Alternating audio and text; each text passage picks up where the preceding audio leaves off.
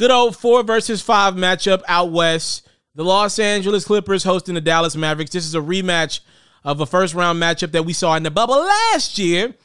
Now, it is worth noting, just to add a little fuel to this rivalry that's starting to brew here, the Clippers had a chance at the three seed, but clearly they either didn't want to smoke with the Trailblazers or Lakers in the first round of the playoffs, whomever would have gotten that six spot, right?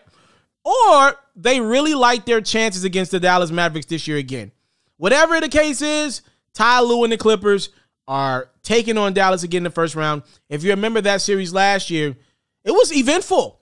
Like Luka and the Mavs made it tough on Kawhi and the Clippers. Remember the moment of all moments of that series was Luka Doncic's big time game winner fading to his left, and then the, the big foul from Marcus Morris on Luka Doncic as well it was a big moment in the series. Kristaps Porzingis' body couldn't hold up in that series, another key factor. Kawhi, Kawhi and the Clippers ended up taking that bad boy. For me this year, though, the most important element of this series is pace. And you got two of the greatest in the game today at the helms for both teams, right?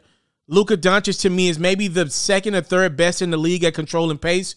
Like Kawhi Leonard to me today is the best player in this series. Luka Doncic is the most important player in this series.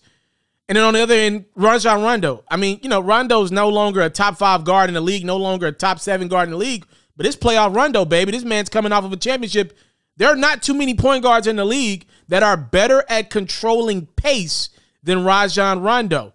I have this series going seven games. The only reason why I'm not picking Luka Doncic in the Mavs is because while Luka's having to focus on Rondo and all the smart basketball IQ plays he's making, the Clippers also still got Paul George and Kawhi Leonard. And I think Paul George desperately needs to add to his legacy. So, with all things being considered, I'm picking the Clippers to win this one, but I think this is a seven game series for real. And, you know, the Mavs added a couple of decent pieces. JJ Redick, playoff time. He missed it last year for the first time in his career. You know he's going to want to try to avenge that this year with probably one of his last opportunities here uh, to, to to make some noise in in, in in in his career. So hey, JJ Redick's there. Also, the uh, Mavs got, got Josh Richardson all year. You know, some people say they should have kept Seth Curry to each his own. I like some of the Mavs moves over the last calendar year. I just don't love him. Dorian Finney Smith has improved. I like Dwight Powell, but I still think that team is missing a dog on the perimeter.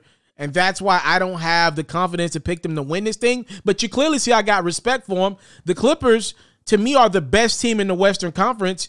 And I still don't, you know, I'm, t- I'm saying that they're going seven games with the Clippers. That's a lot of respect for Dallas, but I don't have the ultimate confidence uh, that the, the Clippers can stop Luka Doncic for at least three games in the series to control the pace of it. And I think there are going to be spots when we're like, yo, Luka's better than Kawhi. Again, I got Kawhi being better than Luka, but I think there will be multiple spots in this series where people are like, yo, Luka's clearly the best player in this series. I believe that. So again, I know I'm kind of beating around the bush with this one. Clippers and seven is the prediction, damn it. I'm not going to beat around the bush anymore. Clippers and seven is my prediction. This is going to be a very long series, and I think it's going to be categorized by blowouts. So I think there's a good chance three Clipper wins in this series out of the four are going to be Clipper blowouts. I think there's a good chance the three wins that I have the Mavs getting this series eh, eh, are going to be blowouts, and then maybe a really close game seven, something along the lines of that. That's how I see this series playing out.